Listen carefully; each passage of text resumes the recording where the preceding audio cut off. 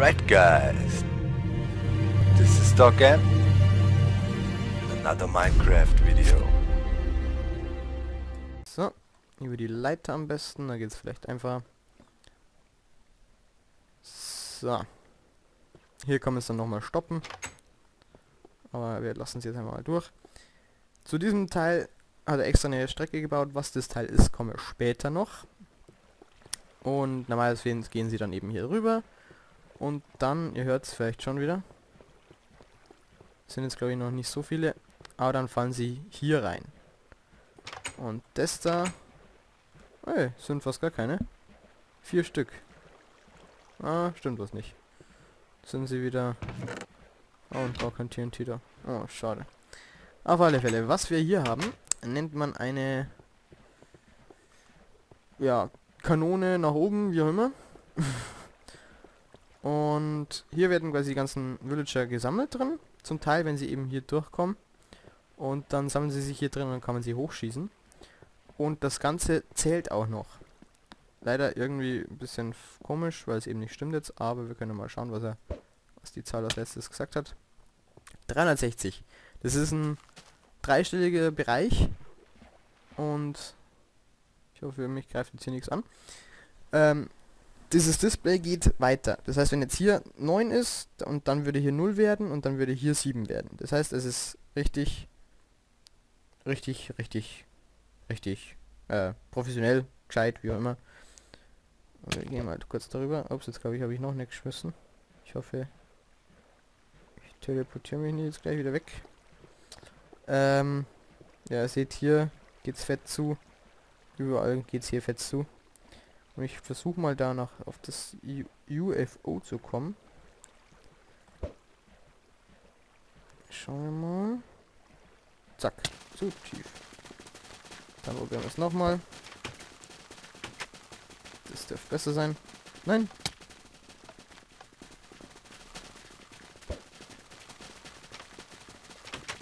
Jetzt aber.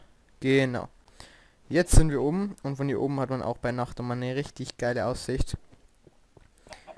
Sehr geil sieht hier alles aus auf jeden Fall. Ist ja gut. Hm, bisschen dunkel hier.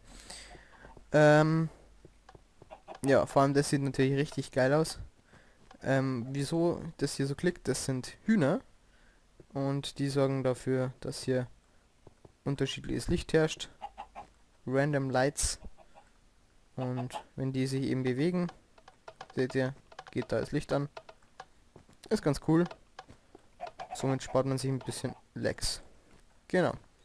Wir begeben uns jetzt mal hier durch. Ich hoffe nur, ich kann da irgendwie relativ leicht rein. So. Und jetzt sind wir hier beim, ja, bei dem Inneren des Ganzen. Und ihr seht, ein Villager, viele, viele Türen. Und vier Iron Golems, die sind eigentlich hier, keine Ahnung, sinnlos. Früher, ganz am Anfang, hatte er das Problem, waren hier übelst viele Villager. Weil er nämlich hier zwei hatte. Und dann dadurch konnten sie sich eben breeden. Mittlerweile breeden sie sich alle unten. Auch nicht besser. Und ja, da konnte man die, glaube ich, irgendwie dann wegschwemmen oder so. Und ja, das war dann die Geburt des unendlichen Villager Breedings. Ja, ihr seht, äh, es kann zu leichten Problemen führen. Aber ihr habt wenigstens hier immer, ich meine 17 Fleisch, hallo für ein Emerald.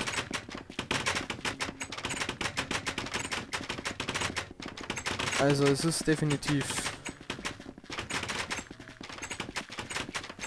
23, oh geil. Da wird sich der ISO wieder freuen. Hallo? Hm. Emerald für 4 Redstone. Und ihr seht, die sind permanent am, am 6 haben.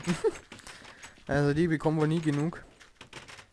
Aber die Geräusche sind hier wirklich ätzendst. Aber dennoch ein sehr geiles, sehr geiles Projekt. Oder wie auch immer.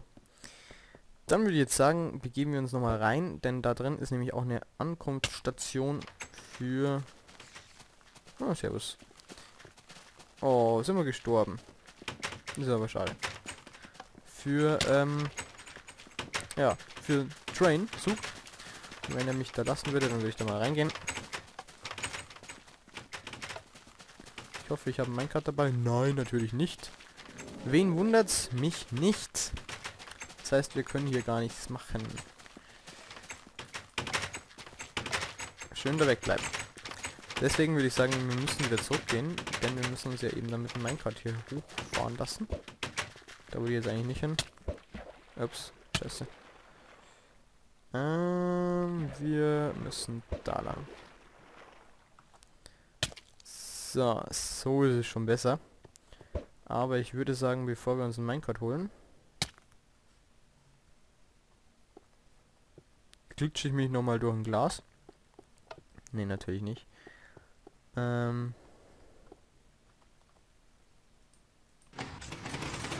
fahren wir nochmal hier hoch.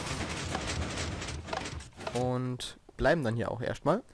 Denn für diese Aufnahmesession würde ich sagen, wieder, würde ich sagen, wieder, würde ich wieder sagen, war's das. Ähm, ich werde jetzt die Folgen rendern. Und ich denke, das dürfte wieder für ein paar Tage, quasi wo die Folgen kommen von Doc M77's Minecraft World Tour, reichen. Wir haben noch vieles nicht geschafft, ähm, aber jetzt sind wir doch schon ein gutes Stück vorangekommen, aber wenn ich mir überlege, was wir noch alles zu zeigen haben. Die Hölle, da waren wir noch gar nicht. Im, im End waren wir noch gar nicht. Ähm, da hinten, da ist ein riesen, riesen Ding Projekt. Da ist ein Riesenprojekt. Da hinten, ganz hinten ist ein Riesenprojekt. Äh, zwei Stunden werden wir hier locker noch beschäftigt sein, denke ich.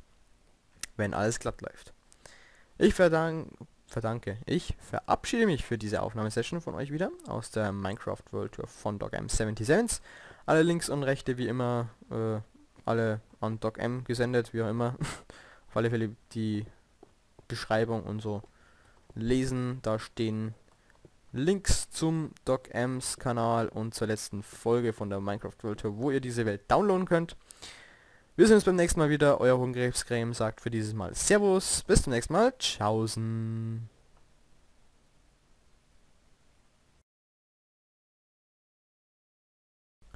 Hallo und willkommen zurück bei einer neuen Aufnahmesession von Doc M77's New Minecraft World Tour. Also, jetzt wieder mittlerweile schon seine alte, denn er ist wieder zurück. Ich wusste es, er kommt wieder. jetzt hat er schon wieder äh, zwei Folgen hochgeladen von seiner neuen äh, World Tour, nennen wir es mal. Ziemlich geil wieder, also er hat einen schönen Seed ausgesucht. Bin gespannt, was er wieder daraus macht und ich freue mich eigentlich auf jede Folge, die so kommt, so wie immer. Aber wir sind hier noch in seiner alten Welt unterwegs, Leute. Und das wird auch wohl noch ein paar Folgen so weitergehen. Denn der Kerl, der, der, der baut. Ja. Der ist fett immer am Bauen gewesen. Und das, glaube ich, wird auch weiterhin so bleiben. Aber um mal zu schauen, was wir schon alles haben. Wir waren hier, wir waren dort, wir waren da drüben, das haben wir abgehakt, den haben wir abgehakt, den haben wir abgehakt. Das da hinten werden wir dann noch kurz nebenbei mal schauen. Das Teil müssen wir irgendwann mal noch kurz schauen. Da waren wir, hier haben wir alles. Hier waren wir noch nicht, hier waren wir noch nicht. Noch weiter hinten waren wir noch nicht. Und äh, Minecart-Strecke hier sind wir auch noch nicht gefahren. In die Richtung hinten auch noch nicht. Also ein bisschen was bleibt da schon noch über. Aber ich denke, das bekommen wir schon hin. Ich würde sagen, wir beginnen jetzt einfach mal, oder wir fangen an, dass wir uns darüber begeben. Wahrscheinlich genau darüber gleich, so und dann dahinter. Dann riden wir gleich hier mit und dann begeben wir uns zu diesen Türmen. Also einmal komplett rundherum, fast kein Umweg. Aber äh, ja. Dann haben wir wenigstens so mal hier alles nach und nach abgehakt. Und wir gehen, gehen wir oder, oder fahren wir? Hm, wir gehen, würde ich sagen. Holen wir uns da vorne noch ein bisschen Speed. Zack. Und jetzt noch sprinten. Genau. Und dann laufen wir mal darüber. Ding, ding, ding.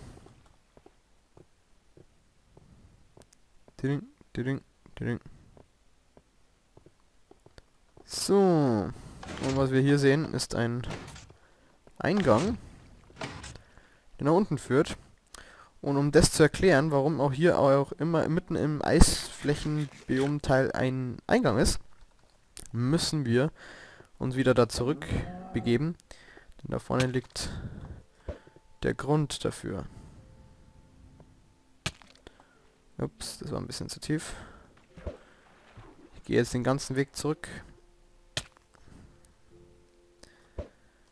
Genau, da sind wir dann eh schon. Ah, ganz knapp nicht erreicht. Macht aber gar nichts. Denn früher war hier oben, wo wir letztens nämlich schon waren und die ganzen Villager getötet haben, beziehungsweise weil kein TNT war, da war, haben wir es nicht gemacht, aber hier das Ganze haben wir schon erklärt gehabt. Hier war früher eine, ein, im Prinzip ging das hier so hoch, dann hier rüber gleich wieder, also hier so ja, und wieder hierher. Dann standen hier, keine Ahnung, 5, 6, 700 Villager und er hat das dann so gemacht, er wollte das quasi als, als, als kalter Pult verwenden. Das wurde leider gefixt, deswegen hat er das draus gebaut, aber damals war es richtig cool. Ähm, er ist von oben runter gesprungen, genau in die Ecke, und da waren dann die ganzen Villagers. Und die haben ihn dann quasi wegkatapultiert. Und das war lustigerweise genau bis zu dem Punkt, wo wir eben gerade waren. Ähm, das hat er sich quasi ein paar Mal so ausgerechnet. Und dann sind wir halt so weit gekommen. Oder er ist so weit gekommen. Jetzt funktioniert das wie gesagt leider nicht mehr. Dann müssen wir jetzt leider, leider mal laufen. Oh, das war ein bisschen zu weit. Ah, ne, passt. Aber er ist dann genau hierher gekommen und dann sogar reingeglitscht. Und das war nämlich das Tolle daran. Er kam quasi daher und zack und fiel runter. Und jetzt sehen wir hier einen Creeper und das ist natürlich nicht der ganze, nicht so toll. Aber wir gehen hier mal kurz vorbei. Genau, deswegen habe ich dich jetzt da weggebaut. Warum man hier die ganze Redstone-Scheiße offen gelassen hat, weiß ich jetzt nicht. Aber wir müssen erstmal den Creeper da vorne loswerden. ihr seht schon, das ist hier ein Speed-Tunnel. Oder man soll zumindest das Gefühl für Speed bekommen dadurch. Weh, du explodierst mir hier. Noch einer. Das finde ich nicht so geil. Wir werden den ganzen Tunnel natürlich gleich noch fahren. What the fuck geht mit euch ab? Hm. Jetzt habe ich natürlich keinen Bogen dabei. Nee. Gegen beide werde ich jetzt wohl hier ein bisschen, bisschen abkacken.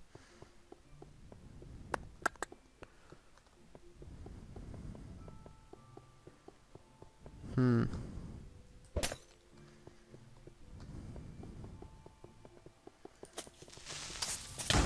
Scheiße. Nein. Vergeigt. Vergeigt. Vergeigt haben wir's. Na gut, dann seht ihr gleich mal die ganze Technik hinter dem ganzen System hier. Ähm, nur deswegen habe ich das gemacht, ja. Ah, scheiße. Kacke. Trotzdem fahren wir den ganzen Tunnel hier noch. Irgendwie schaffen wir das schon. Jetzt habe ich natürlich keine Schienen mehr. Mmh. Was spawnen hier auch? Drei verkackte Creeper hier. Die haben ja gar nichts verloren. Hm. So. Dann gehen wir schnell wieder zurück. Setzen hier ein paar Schienen wieder. Genau. Und jetzt funktioniert natürlich das hier auch nicht mehr. Ist natürlich klar.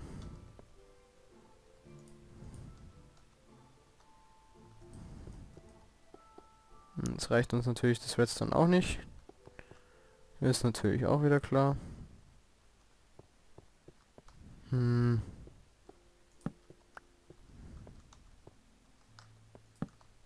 Ach, Menno. Das ist gemein. Warum muss der da explodieren? Das weiß wieder keiner. So, Redstone haben wir auch nicht dabei. Nö, natürlich nicht. Hm. Es ist scheiße und vor allem schade. Naja, ihr habt zumindest einen halbwegs einen Eindruck, wie das Ganze funktioniert. Ich erkläre es euch nochmal kurz. Oh Mann.